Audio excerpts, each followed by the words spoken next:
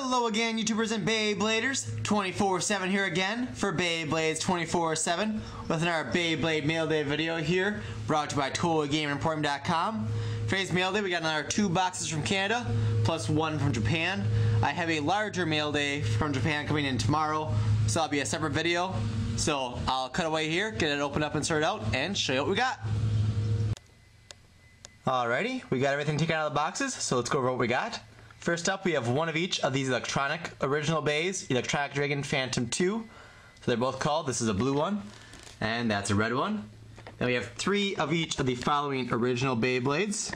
We've got here, Wayne Attacker, Wyborg, I'm sorry if I pronounce them wrong, Roller Defensor, Knight Dranzer, Bumpkin, Seaborg 2, Master Driger. That's what I need to know how to pronounce for sure. I'm probably saying it wrong. That's I know one of the main ones I believe. Uh, Wolborg 2, Hayate 2. That's a Hidden Spirits one, as is Griffolyon 2. You can see here three of each one. All the way across there. And we have another three original launcher grips. This is a continuation of the first of the last two boxes I got in the previous video. These were just shipped uh, a couple days later and thus received a couple days later. And then one of the biggest things for me here are the two packs, the face-off packs of Lion, Gale Force Wall with Rock Leone and Flame Bull. We got one, two, three, four, five, six, seven, eight, nine, ten, eleven, twelve of them. So that is awesome. Those now, this will probably have sticker shock for you, but the going rate on this, last I checked on Amazon, is upwards of $100. So, if you need a Rock Leone, your best, cheapest option right now would be to get the Takara Tomy single pack version of Rock Leone. That one is still under 20 bucks. So, that's your best option for that. But for collectors that want all the different variations and stuff, this is quite an expensive piece. And then the second most expensive face-off pack here, we've got two, four, six, eight of the Storm Pegasus and Rock Aquario Pegasus Tornado Wind 2 pack. So that's everything we got from Canada. And then last, but certainly not least, our we got four boxes here from Japan. It's all the same bay. You may be able to guess which one it is.